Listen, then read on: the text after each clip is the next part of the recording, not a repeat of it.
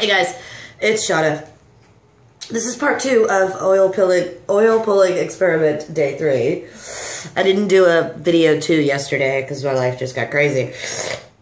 I just finished 12 minutes. Uh, that's all I could do. And I don't know why, but after 12 minutes, my gag reflex just kicks in and I can't keep it in there any longer. So, Oh, I hope 12 minutes is long enough because that's about the average of how long I can do this is 12 minutes. Maybe I need to do it twice a day for 12 minutes. 12 minutes in the morning and 12 minutes in the evening would equal probably 20 minutes. so, I just got done. It wasn't as bad when it was liquefied. When it's that um, shortening consistency, here I'll show you. Like when it's like this consistency, this is really, really hard. Like you put this in your mouth and your mouth, your brain is like, what are you thinking? But uh, leaving it next to the hot rollers left, uh, let it melt yesterday. So uh, I am going to do that again, I think.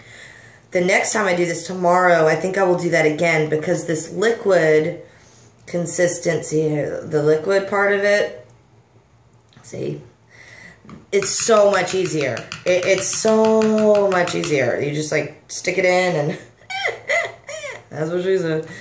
You just pop it in your mouth and start to swish around and there's no like real issue. Like when you put the congealed stuff in, you have to break that down first and that's difficult. So I think that worked out well doing it where it was melted like that. So I think I might try that again tomorrow. And that's that. So done. Mouth feels great. Really clean. I haven't brushed my teeth yet. I'm going to wait a minute to brush my teeth. But it doesn't even feel like I need to. I mean, I'm gonna.